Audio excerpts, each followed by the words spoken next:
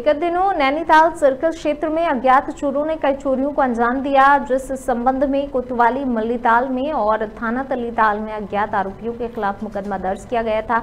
चोरियों के खुलासे करते हुए वरिष्ठ पुलिस अधीक्षक नैनीताल पंकज भट्ट ने बताया कि अधीनस्थ पुलिस बल को निर्देशित किया गया और अज्ञात चोरियों के खुलासे के लिए विभाधीक्षित क्षेत्राधिकारी नगर नैनीताल के पर्यवेक्षण में पुलिस टीम का गठन किया गया।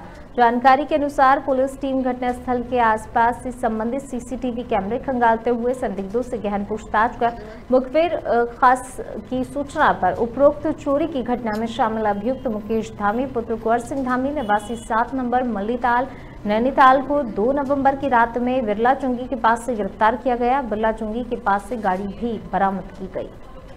जाके हमें इसमें दो लोगों की गिरफ्तारी हुई है।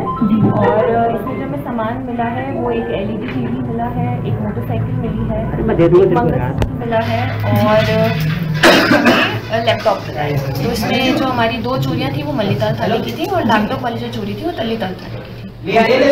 इसमें जो अभियुक्त है उसका नाम है मुकेश धामी।